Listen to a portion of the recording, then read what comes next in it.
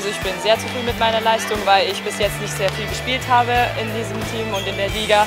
Ich bin auch neu in diese Mannschaft gekommen, hatte noch nicht so viele Einsätze und ja, ich bin eigentlich sehr zufrieden mit meiner Leistung, auch mit der Coach auch. Passt wunderbar, alles gut gegangen. Ähm, wir haben eigentlich mit viel Freude gespielt und viel Enthusiasmus und das ist das Wichtigste für das Team. Wenn die Schluss auf Volleyball haben, dann ist alles gut. Hast du mit so einem hohen Sieg gerechnet? Nee, eigentlich nicht. Dass es so deutlich wird, habe ich nicht gerechnet.